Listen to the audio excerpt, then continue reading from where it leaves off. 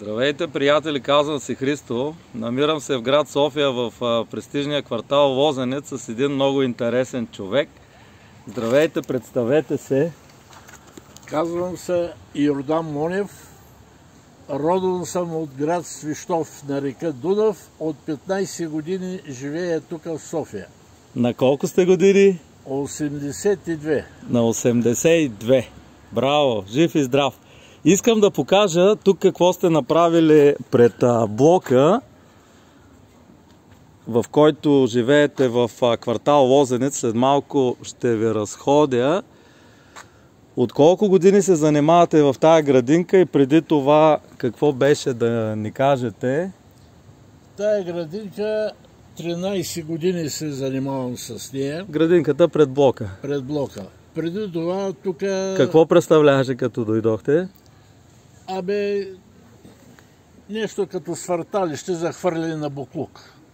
Буклучарник? Буклучарник, да. И колите бяха на тротуарите. А, отделно и качени коли? И коли. И не можеше, нито да, покрай блока, не можеше да се минава.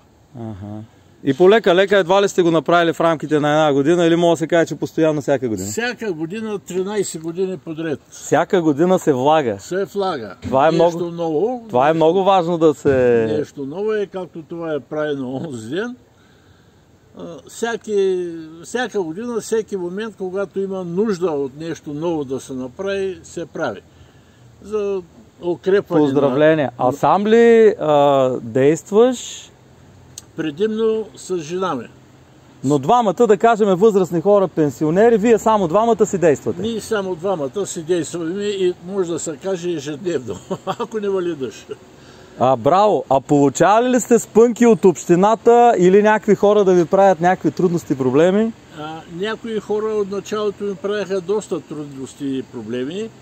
А, дори от общината два пъти са санкционирани че нарушавам зелената флора, а аз ага. също я създавам. А обесърчи ли ви това по някакъв начин? И след това, като се убедиха, че съм прав, взеха, че ме наградиха. А, след това има и награда. награда Поз... от общината. Поздравления! Значи вие сте ги убедил чрез дейност, че е по-добре това, което вие правите, отколко това, което заварих. Отколко това, което сте заварили.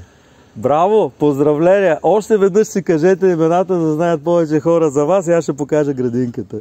Казвам се Йордан Димитров Монев. Жив Родом от град Свищов. От 15 години съм в София.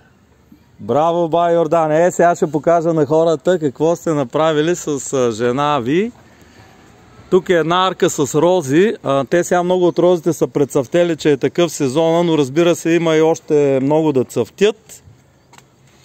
Просто ще развъртя така камерата да видите а, колко растения са направени, са създадени.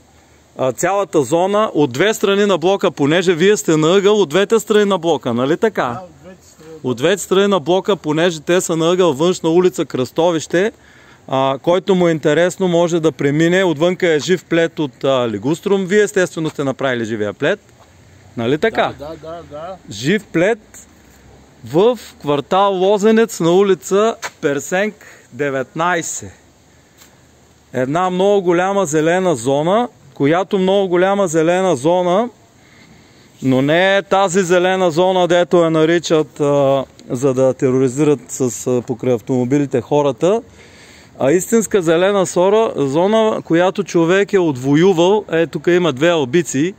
Те те първа ще цъфтят, която а, двама възрастни хора, пенсионери, са отвоювали. А, напукна невероятната престижност на квартала Лозенец, напукна спънки от а, община, след това общината ги награждава, защото те показват, че може чрез а, дейност да и облагородяване да направиш по-добра средата.